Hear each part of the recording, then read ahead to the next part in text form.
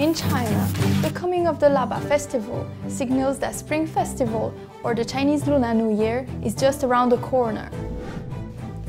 According to the Chinese lunar calendar, the eighth day of the 12th month is commonly known as Laba. The Laba festival is a cherished traditional Chinese festival. On this day, it's customary for Chinese people to cook congee using a variety of grains, beans and dried fruits, famously known as laba congee. The tradition of eating laba congee during the festival could be traced back to the Song dynasty. Across the country, from north to south, everyone has their unique laba congee recipe. It comes in various flavors, including sweet, savory and spicy. As I'm here in Beijing, I'm making Beijing-style laba congee.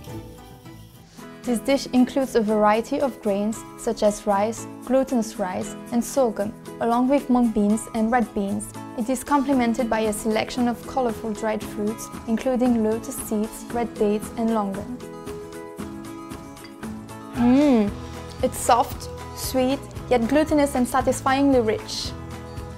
In addition to Laba congee, there are many other food customs associated with the Laba festival, such as Laba garlic, Laba noodles and Laba beans. This winter, why not try making a bowl of Laba congee yourself?